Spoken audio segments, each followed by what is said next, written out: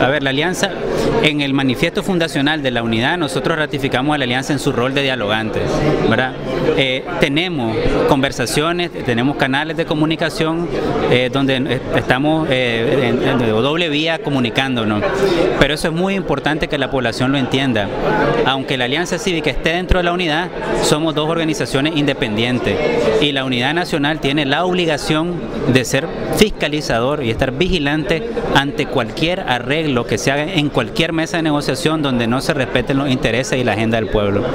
Bueno, ustedes valoran de que todavía no se han alcanzado los frutos esperados desde este diálogo o mesa de negociación, como se le llama. Sí, como decíamos en la conferencia. ¿Insatisfechos?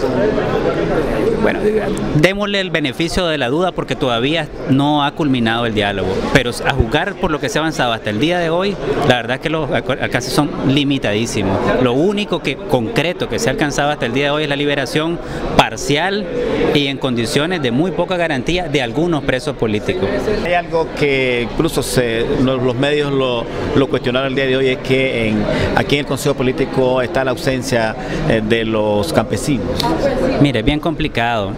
Yo pertenezco a la articulación de movimientos sociales y organizaciones de sociedad civil, donde había una buena representación del movimiento campesino. Sin embargo, dentro de la unidad nacional, este, no hay hasta este momento expresiones organizadas del movimiento campesino, porque han sido fuertemente golpeados por el régimen y han tenido que salir prácticamente todos al exilio y han, han sido bastante desarticulados.